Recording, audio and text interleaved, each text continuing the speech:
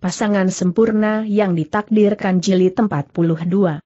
Kedua pembunuh itu berjalan mendekat selangkah demi selangkah, Jin Yuan Bao mendorong sebuah tangga bambu di atas tembok ke arah kedua orang itu, lalu dengan memanfaatkan kekacauan itu, ia melarikan diri, namun sebelum ia sempat berlari dua langkah, ia telah ditarik ke belakang oleh seorang pembunuh dan terjatuh ke tanah.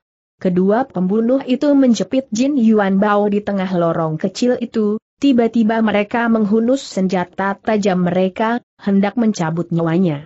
Jin Yuan Bao tak mempunyai jalan untuk melarikan diri, ia hanya dapat memejamkan matanya.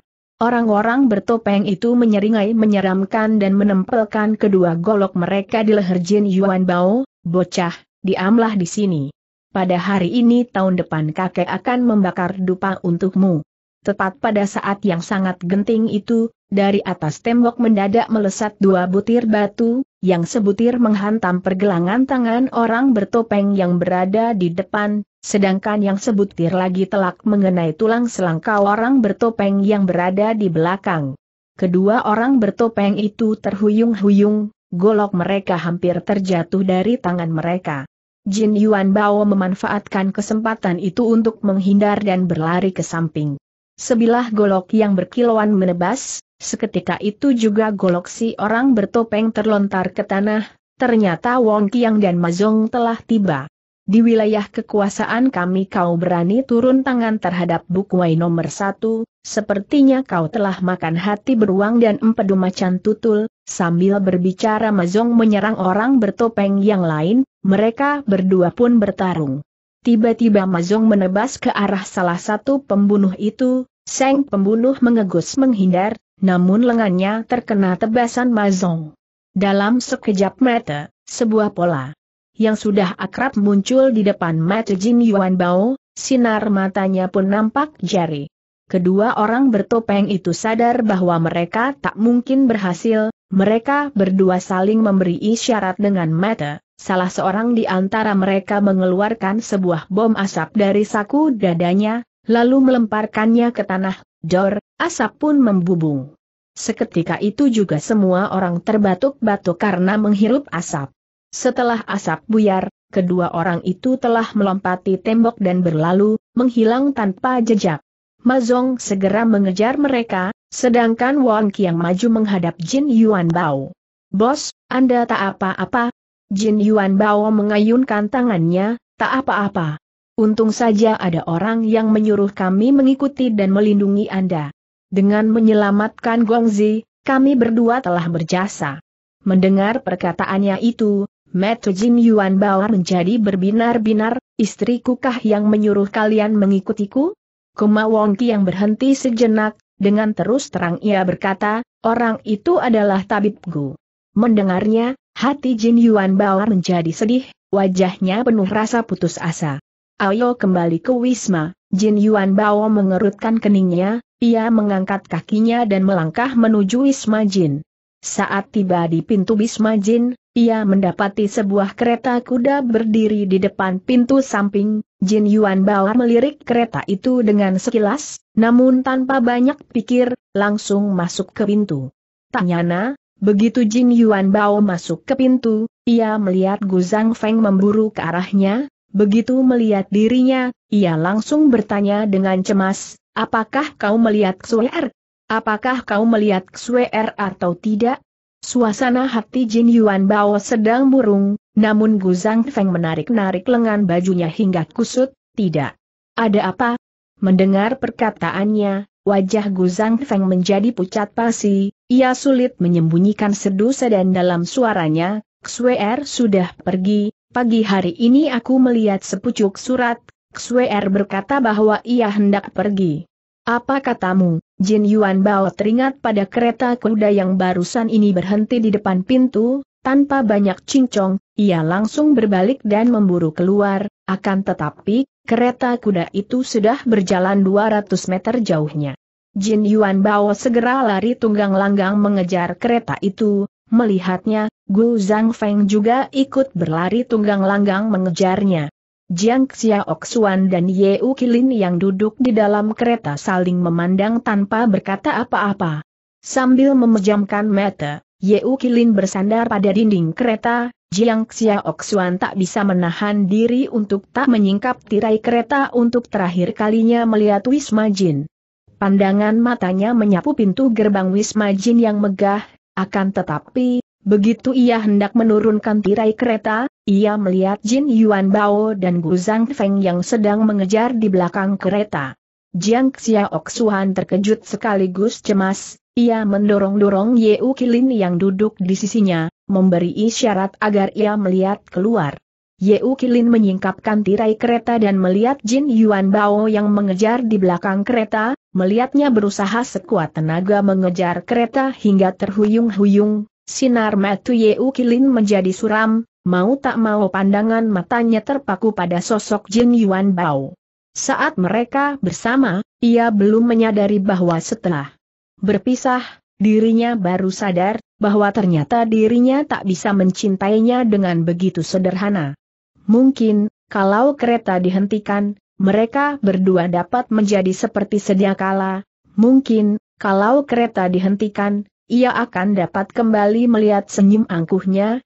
Mungkin, kalau kereta dihentikan, mereka dapat seumur hidup. Akan tetapi Yeu Kilin sadar, bahwa hal itu mustahil, mustahil. Karena telah mengorbankan seseorang, dirinya tak boleh, karena mementingkan diri sendiri, mencelakai lebih banyak orang lagi, dan mencelakai Jin Yuan Bao.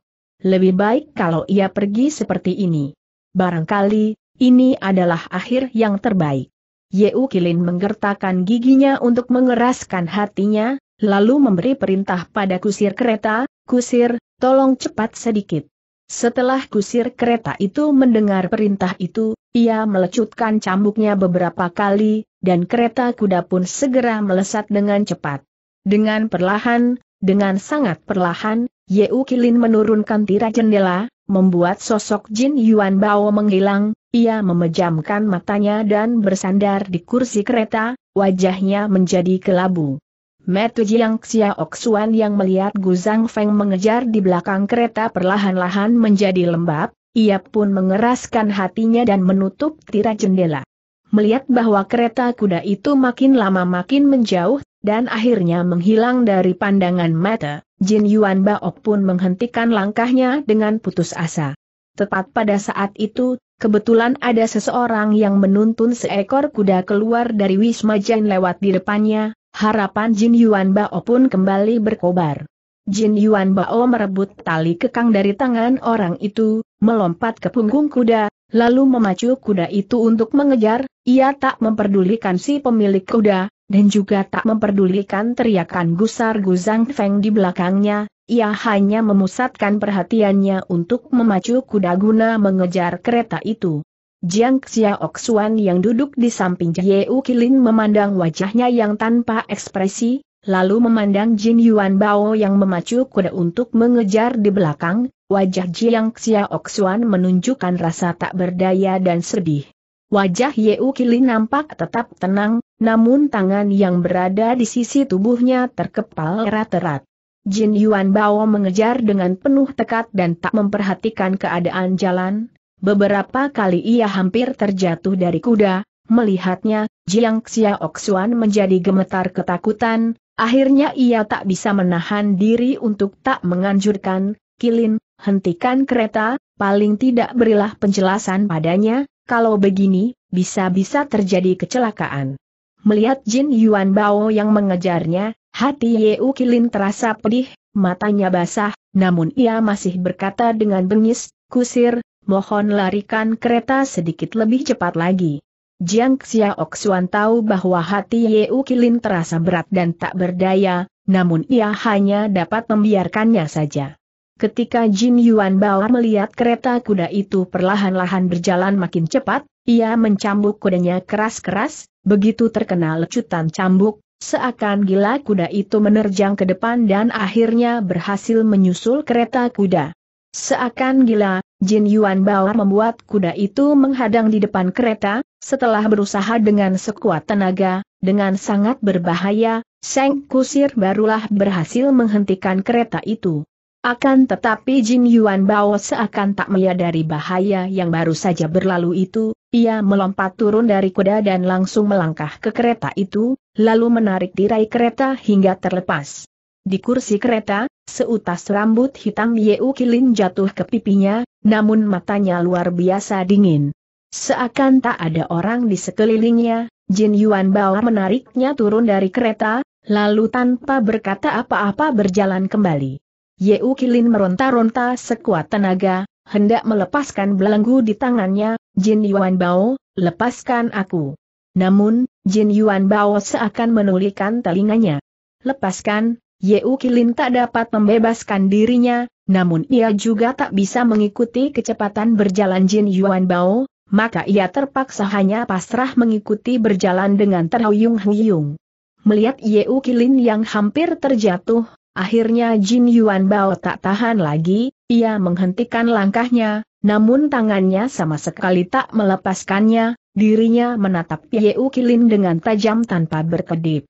Di matanya api kemarahan seakan berkobar-kobar dengan hebat, juga bagai menyimpan es dingin. Metu itu menyapu Yeu Kilin, hati Yeu Kilin pun terasa dingin, akan tetapi dalam pandangan Metu itu, perlahan-lahan muncul kelembutan dan kelemahan, seperti seekor binatang liar yang terluka, membuat dirinya tak tahan melihatnya. Yeu Kilin mengkerutkan tubuhnya, lalu menggertakkan giginya, ia memaksa dirinya menyambut pandangan matu itu seraya dengan hambar berkata, lepaskan aku. Jin Yuan Bao tertegun, ia menekan api amarah dalam hatinya, lalu menggertakkan giginya dan berkata, ikut aku pulang. Yeu Kilin hendak mengibaskan lengannya dengan sekuat tenaga agar dapat melepaskan tangan Jin Yuan Bao, aku tak akan pulang. Sekarang ikutlah aku pulang, aku akan menganggap semuanya ini tak terjadi, dengan putus asa Jin Yuan Bao memeganginya, sama sekali tak bergeming. Yeu Kilin tak dapat melepaskan dirinya dan terpaksa menunduk, lalu menggigit tangan Jin Yuan Bao.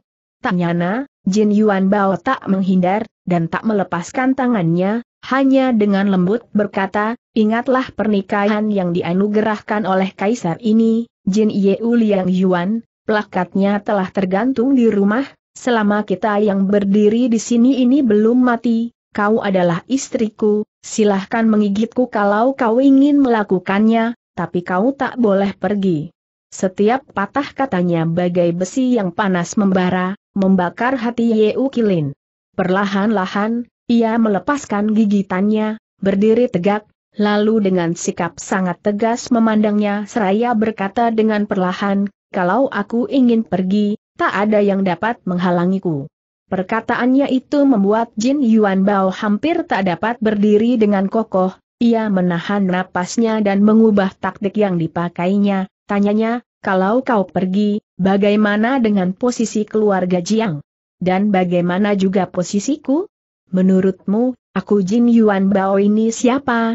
Terserah padamu, aku hanya ingin pergi, Yeu Kilin tak lagi memandangnya. Apakah terserah padaku? Aku benar-benar tak menyangka bahwa kau dapat mengucapkan perkataan seperti ini.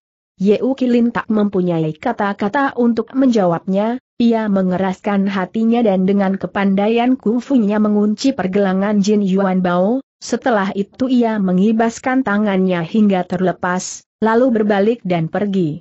Akan tetapi, begitu ia berbalik dan pergi, air matanya pun bercucuran bagai hujan. Berhenti, Jin Yuan Bao berseru. Yeu Kilin berhenti sejenak, namun tak menghiraukannya, lalu terus berjalan menuju ke kereta kuda. Xiao Xuan, suaranya tak nyana bagai memohon-mohon, asalkan kau pulang, aku tak akan bertanya apa-apa padamu, kau pun tak usah menjelaskan apa pun, asalkan kau bersedia, kita akan dapat kembali seperti sedia kala, kau dapat pergi ke mana pun kau suka, kalau kau tak suka pada suasana di Wisma, kita dapat pergi bertamasya ke tempat-tempat yang pemandangannya indah, kita juga dapat kembali mengunjungi ibu susumu, asalkan kau tak pergi. Air mata membasahi pikiran Yeu Kilin, ia merasa seluruh bagian tubuhnya terasa nyeri, sakitnya hingga menembus tulang, tak tertahankan. Ia sangat ingin berbalik, sangat ingin memburu ke arahnya, sangat ingin menyusup ke dalam pelukannya. Akan tetapi, ia tak dapat melakukannya. Bagaimanapun juga, saat ini ia harus bangun dari mimpi. Kalau tidak, dirinya akan mencelakainya. Dengan penuh tekad Yeu Kilin mengangkat kepalanya, ia masih sama sekali tak menghentikan langkah kakinya. Jiang Xiaoxuan, kalau kau pergi, kau tak akan dapat kembali lagi. Terserah, Yeu Kilin sedikit memperlambat langkah kakinya, lalu melontarkan sepatah kata yang dingin itu. Kau tak boleh menyesal. Akan tetapi ia seakan tak mendengar perkataan Jin Yuan Bao itu, ia masih melangkah, Jin Yuan Bao pun kehilangan segala harapan. Jiang Xiaoxuan, apakah kau benar-benar tak punya hati Yeu Kilin menulikan telinganya dan terus berlalu. Melihat punggungnya yang makin lama makin jauh, Jin Yuan Bao dengan sebatang kera berdiri di tempatnya semula, seakan dicampakkan. Dadanya penuh rasa tertekan yang tak dapat dilampiaskan, ia mengangsurkan tangannya dan memukul sebatang pohon yang berada di sisinya.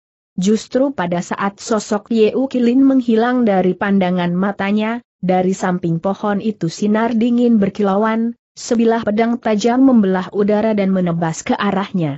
Dengan waspada Jin Yuan Bao menghindar, sehingga pedang itu menusuk batang pohon di belakangnya. Setelah itu, tanpa ragu sedikit pun Seng pembunuh menarik keluar pedangnya, pedang itu sangat tajam, akan tetapi ternyata dapat ditarik keluar dengan mudah, Jin Yuan Bao tak dapat menghindar sehingga sebuah guratan berdarah muncul di wajahnya. Seng pembunuh segera membalikan pergelangan tangannya dan pedang itu pun langsung menikam ke tenggorokan Jin Yuan Bao. Tak nyana begitu banyak orang menginginkan binasa, Jin Yuan Bao berusaha sebisanya menghindar, matanya memancarkan kemarahan, ia menatap tajam Seng pembunuh dengan dingin, sekujur tubuhnya penuh tenaga.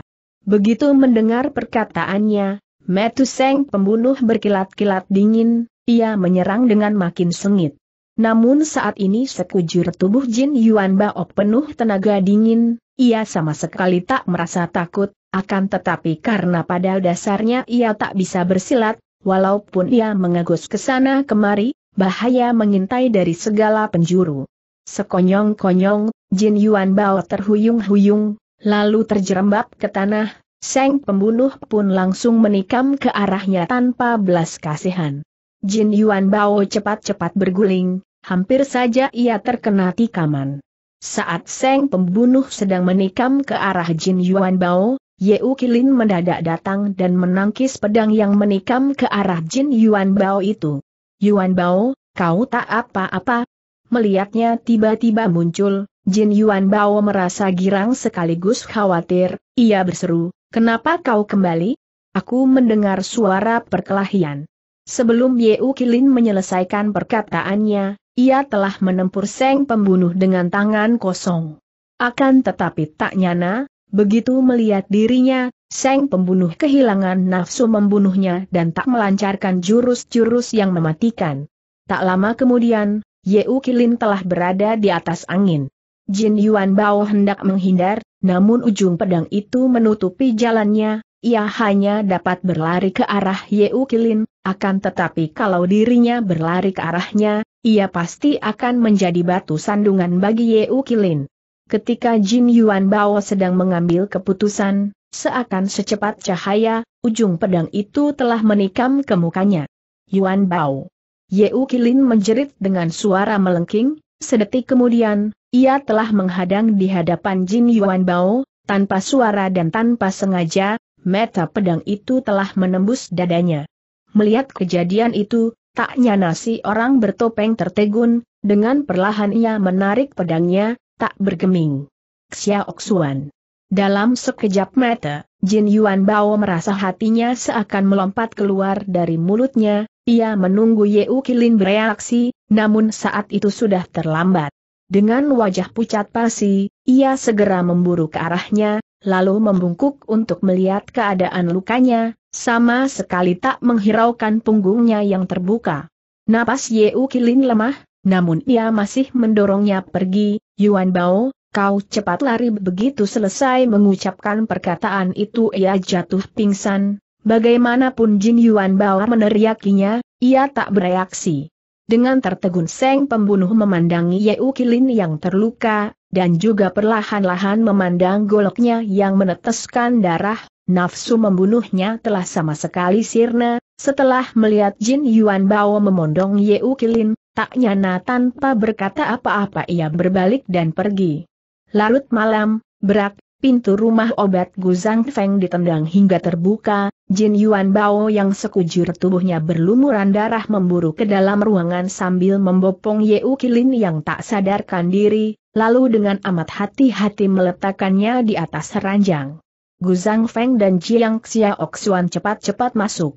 Yeu Kilin berbaring terlentang di ranjang, bagian depan bajunya telah merah terkena darah, darah segar masih mengalir dari mulut lukanya dan menetes-netes ke bawah, membasahi seperti.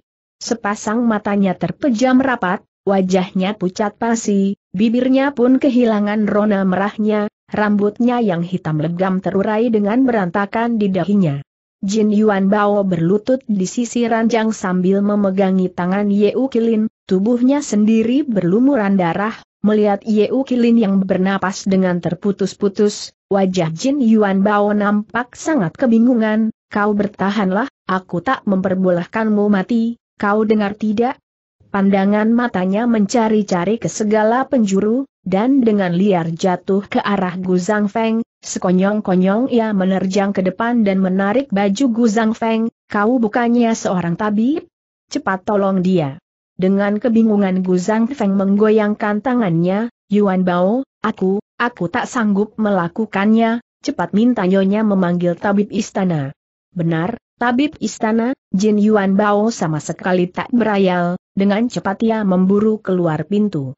Beberapa saat kemudian, seorang tabib istana yang berambut putih yang setengah diundang dan setengah diculik olehnya masuk ke dalam kamar, begitu melihat Yeu Kilin yang berbaring di atas ranjang, tanpa banyak pikir, Seng tabib istana segera memeriksanya.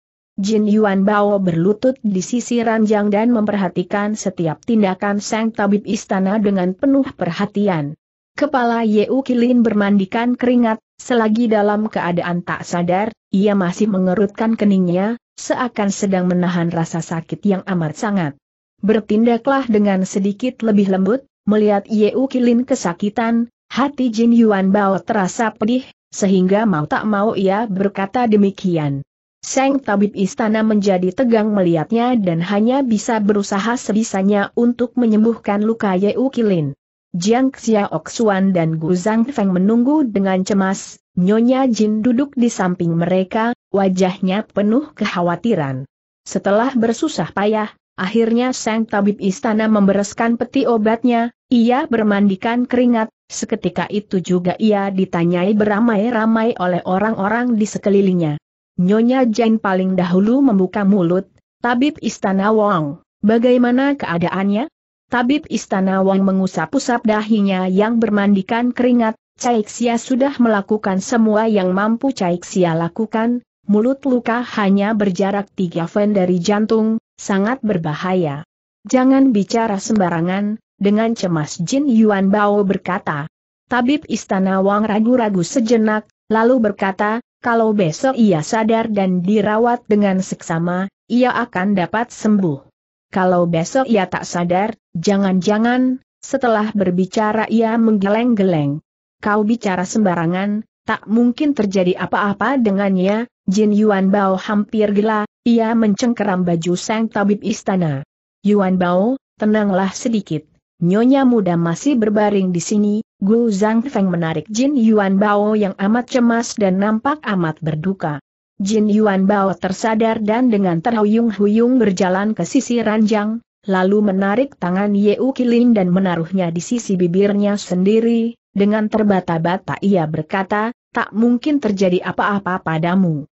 Ketika Jiang Xiao Xuan mendengar perkataan sang tabib istana, ia terhuyung-huyung dan jatuh terduduk di lantai, ia tak kuasa menahan diri dan menangis dengan pilu, Gu Zhang Feng menarik Jiang Xiao Xuan ke dalam pelukannya, wajahnya nampak berduka. Kenapa bisa begini, wajah Nyonya Jin amat terkejut, setelah itu ia bereaksi, kami mohon tabib istana Wang bermalam di sini. Baik, jawab tabib istana Wang. Di balik pintu, Liu Wenchao memandang Yeu Kilin yang terbaring di atas ranjang dari kejauhan, ia hampir kehilangan akal, kenapa kau melakukan hal seperti itu selagi berbicara, tak nyana, setetes air mata meleleh dari sudut matanya. Setelah mengantar tabib istana Wang pergi beristirahat, Nyonya Jin kembali ke kamar pengantin, melihat Jin Yuan Bao berlutut di sisi ranjang seakan kehilangan akal, ia merasa amat tak sabar dan segera berkata, sebenarnya apa yang terjadi? Kenapa Jiang Xiao Xuan bisa sampai terluka? Jin Yuan Bao yang berlutut di sisi ranjang sama sekali tak menjawab, Gu Zhang Feng terpaksa memberi penjelasan, Furen, Nyonya muda terluka karena menyelamatkan Yuan Bao, ada orang yang hendak membunuh Yuan Bao, dan Nyonya muda menangkis tikaman pedang yang ditujukan padanya. Apa? Ia mengorbankan dirinya untuk menyelamatkan Yuan Bao. Nyonya Jin amat terkejut mendengar tentang kesetiaan Yeu Kilin terhadap Jin Yuan Bao, setelah itu, ia memikirkan bahwa ada orang yang hendak membunuh Jin Yuan Bao dan merasa cemas, ada orang yang hendak membunuh Yuan Bao? Ia cepat-cepat memburu ke depan untuk memeriksa tubuh Jin Yuan Bao, Yuan Bao, apakah kau terluka atau tidak? Jin Yuan Bao menarik tangannya yang digenggam oleh Nyonya Jin, Ibu, Aku tak apa-apa. Setelah berbicara ia berpaling dan kembali menatap Yeu Kilin. Melihat putranya yang berduka, mau tak mau Nyonya Jin menghela napas, ia menepuk-nepuk bahu Jin Yuan Bao, lalu memberi isyarat agar orang-orang yang tak berkepentingan mengundurkan diri. Semalam itu, Yeu Kilin terus tak sadarkan diri dan terus demam tinggi, dahinya tak henti-hentinya mengeluarkan butir-butir keringat, Jin Yuan Bao duduk di sisi ranjang dan terus mengompresnya.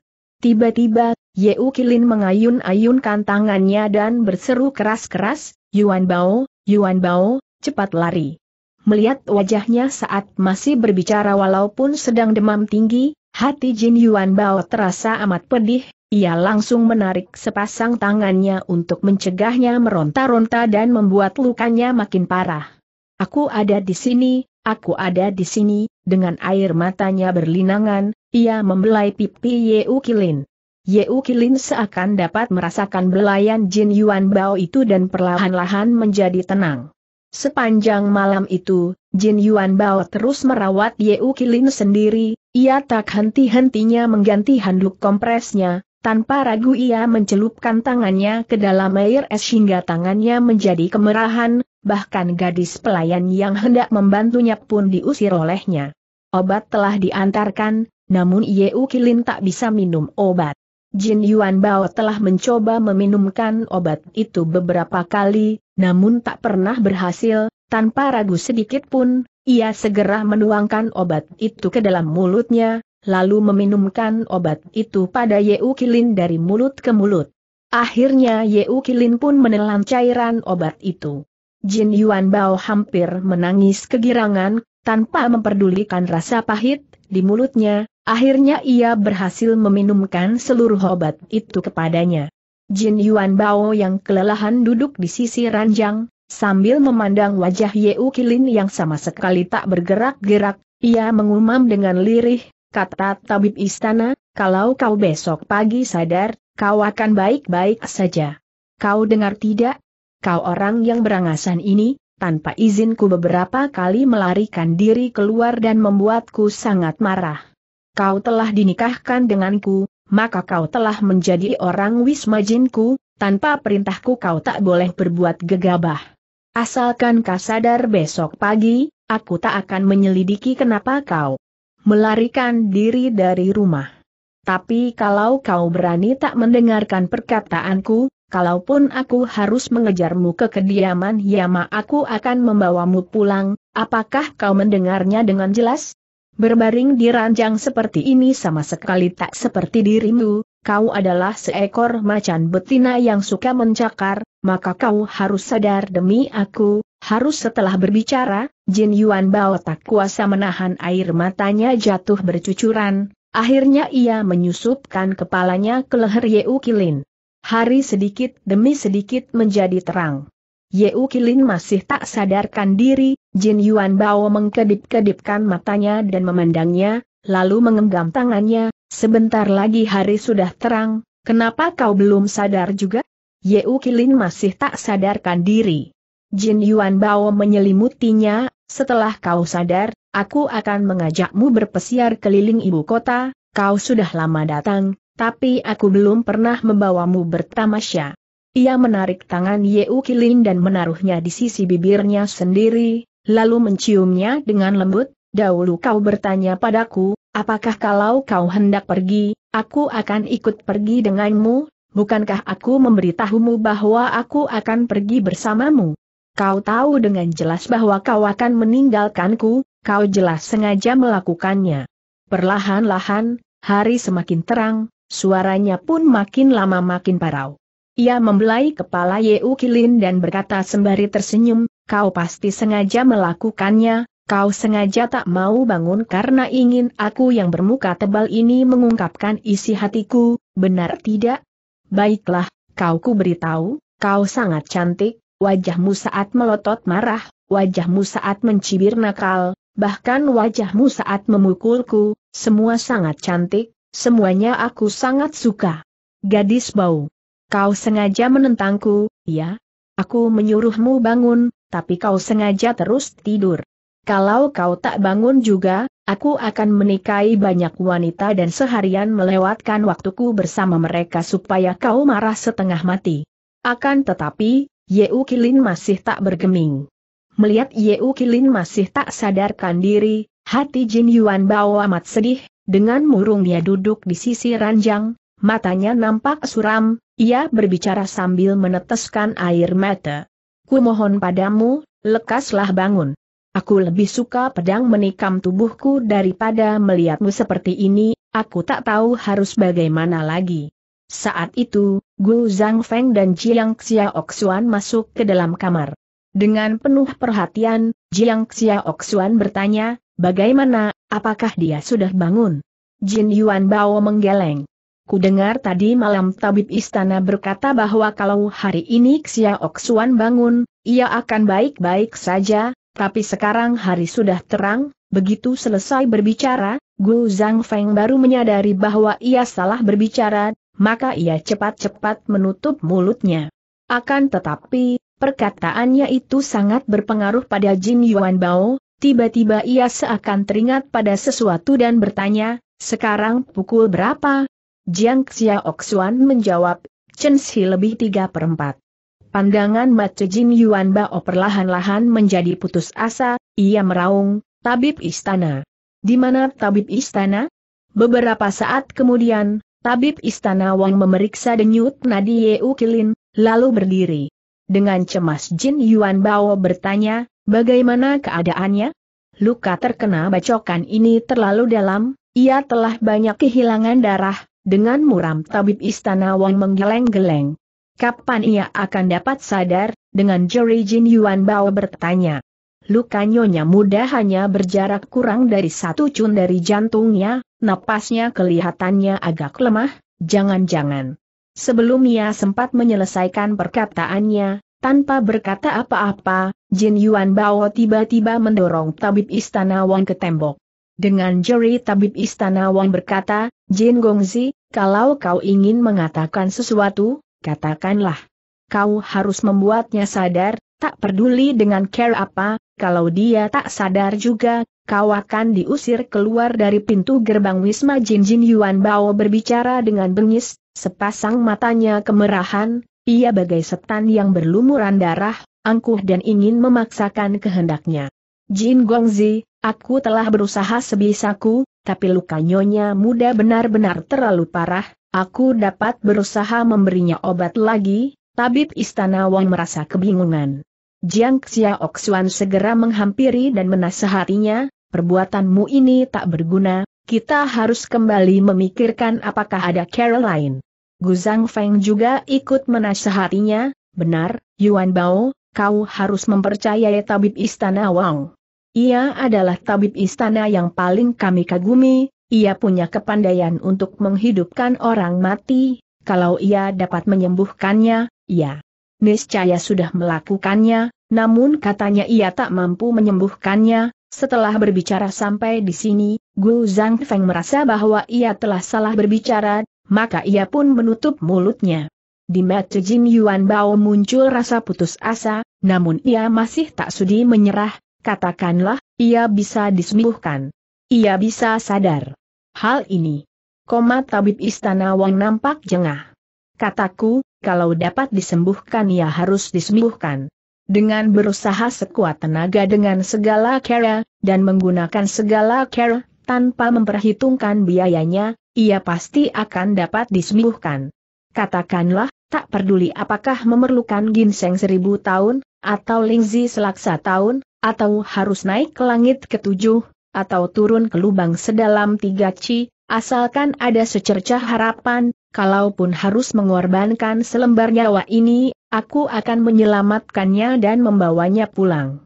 Perkataan ini seperti sebuah peringatan bagi tabib istana Wong. Ia berpikir sejenak, lalu dengan tak berdaya berkata, Gongzi mohon tenang sedikit, ada suatu kera. Katakanlah, Jin Yuan Bao terkejut sekaligus girang. Aku tak mengatakannya sebelumnya, karena harapannya tak terlalu besar, ini adalah rahasia istana, kalau sampai tersebar keluar entah bencana apa yang akan menimpa. Semuanya akan kutanggung sendiri, cepat bicara. Di istana ada obat ajaib yang khusus digunakan untuk menyembuhkan luka karena senjata tajam bernama Pil Huan Hun. Koma beberapa tahun yang silam, obat ini dikirim dari Persia sebagai upeti, obat ini dipersiapkan khusus untuk anggota keluarga kekaisaran. Akan tetapi obat ini sangat berharga, hanya ada sebutir, bahkan orang luar pun tak tahu tentang keberadaannya, kalau bisa mendapatkan obat ini, nyonya muda akan dapat diselamatkan. Akan tetapi, tapi apa, dengan tak sabar Jin Yuan Bao berkata, akan tetapi pil obat ini benar-benar terlalu berharga, hanya dapat dipakai oleh kerabat dekat kekaisaran, Pil obat ini selalu berada di tangan Ibu Suri, aku khawatir Ibu Suri tak akan sudi menganugerahkannya. Ia harus mau menganugerahkan obat itu. Sekarang aku akan pergi untuk memohonnya sambil berbicara, Jin Yuan Bao memandang Yeu Kilin yang tak sadarkan diri, membopongnya, lalu hendak berjalan keluar. Melihatnya, Jiang Xia Oksuan segera menghalanginya seraya berkata, kau hendak masuk ke istana tanpa izin. Masuk ke istana tanpa izin adalah suatu kejahatan besar yang dapat diganjar hukuman mati.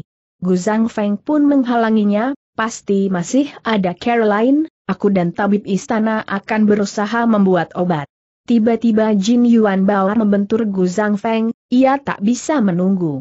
Setelah berbicara ia berjalan keluar sambil memondong Yeu Kilin.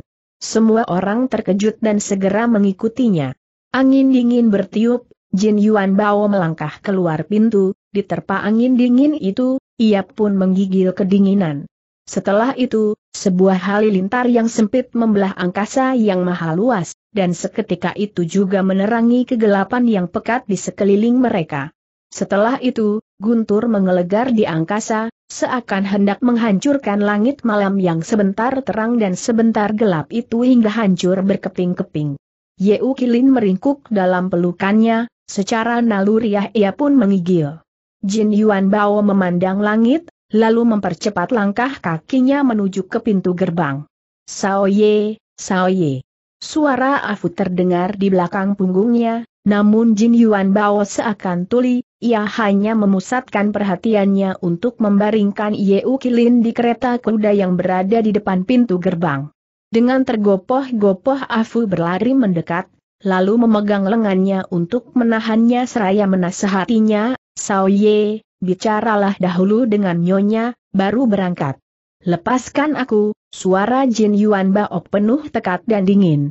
Saat itu, Gu Zhang Feng pun telah menyusul keluar dan ikut menasehatinya, Yuan Bao, masuk ke istana tanpa izin bukan perkara kecil, bagaimana kalau kita sampai mengundang kemarahan Ibu Suri? Lebih baik kita kembali dulu. Begitu ia selesai mengucapkan perkataannya, halilintar berkelebat di angkasa, guntur bergemuruh berulang kali tiba. Tiba, hujan deras pun turun dengan lebat. Namun Jin Yuan Bao sama sekali tak memperdulikannya, ia melompat ke atas kereta dan duduk di kursi kusir, ia melecutkan cambuk, kuda meringkik, dan kereta itu pun melaju dengan cepat. Hujan membasahi bajunya, membasahi rambutnya, namun ia seperti sama sekali tak merasakannya. Sambil mengemudikan kereta, ia mengumam dengan lirih, bertahanlah sebentar lagi, kita akan segera tiba di istana, begitu minum obat kau akan segera bangun. Orang-orang di sepanjang jalan berbondong-bondong masuk ke toko-toko di tepi jalan untuk berteduh atau berlarian di jalan raya. Jin Yuan Bao menjalankan kereta itu bagai anak panah yang lepas dari busurnya, menembus tirai hujan dan mengoyak langit malam, melesat ke kota terlarang. Perlahan-lahan, perlahan-lahan, menara penjaga kota terlarang samar-samar terlihat di balik tirai hujan, semakin lama semakin dekat. Seulas senyum lega muncul di wajah Jin Yuan Bao, seakan memberitahu Yeu Kilin, dan juga seakan berbicara pada dirinya sendiri, ia berkata, sudah sampai, akhirnya sampai juga, kau pasti akan dapat bangun. Melihat kereta kuda yang mendekat dengan cepat itu, para penjaga gerbang istana menjadi pucat pasi karena terkejut, mereka segera mementang busur, dengan wajah tegang dan bengis mereka menunggu. Walaupun merasa tak sabar, namun setelah mendekat dan melihat barisan tempur itu, Jin Yuan Bao tersadar, ia cepat-cepat menghentikan kereta, lalu meloncat turun. Ia tak lagi menjalankan kereta dan berbalik menerjang ke pintu gerbang sambil memondong Yeu Kilin.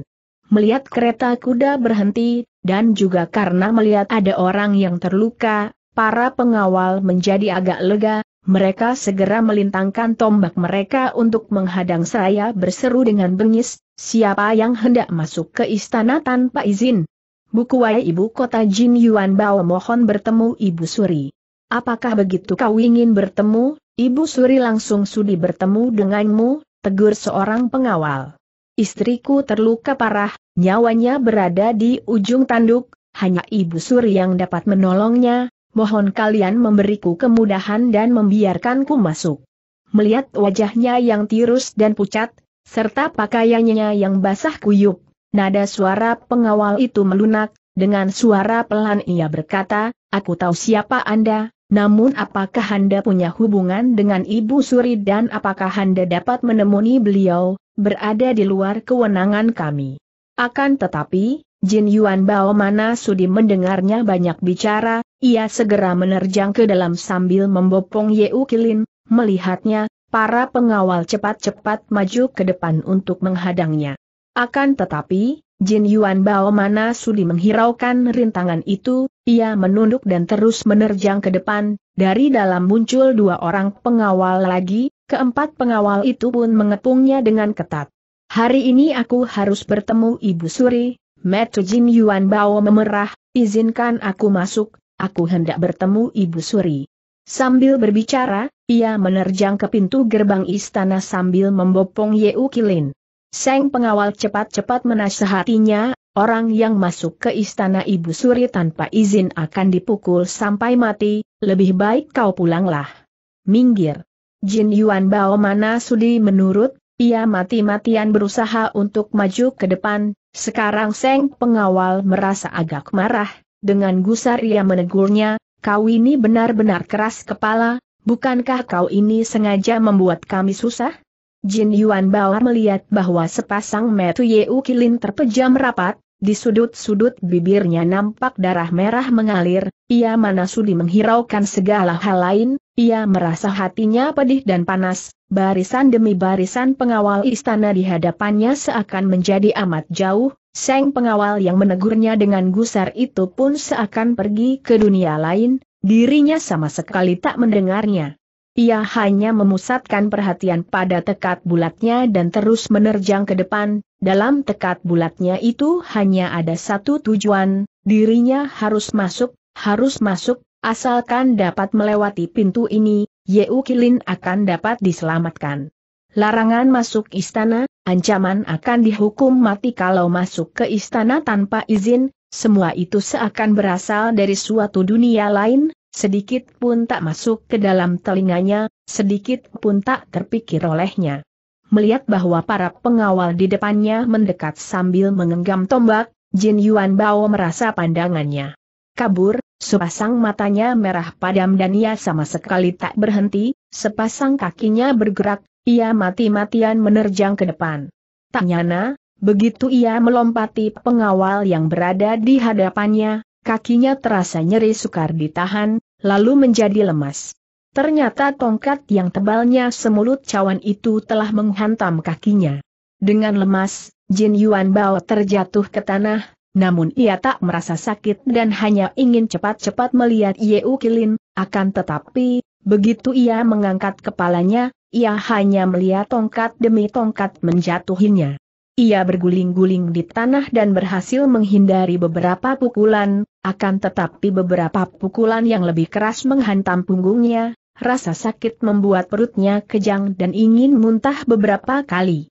Ia mengangkat kepalanya, pandangan matanya yang penuh kemarahan menyapu para pengawal itu, akan tetapi, buk, buk, pukulan demi pukulan itu masih satu demi satu jatuh di atas tubuhnya. Jin Yuan Bao menghentikan gerakannya dan berdiam diri, seakan mematung dan menjadi sepotong ikan di atas papan talenan. Ia bukan tak punya tenaga untuk melawan, akan tetapi ia masih membopong Yeu Kilin dan khawatir akan membuatnya terluka, maka ia hanya dapat berusaha melindunginya dalam pelukannya. Para pengawal nampaknya sudah benar-benar marah, dengan gusar mereka berseru, barang siapa masuk ke istana Ibu Suri tanpa izin akan dipukul sampai mati tanpa ampun. Kalau kau tahu apa yang baik bagi dirimu sendiri, sekarang mundurlah.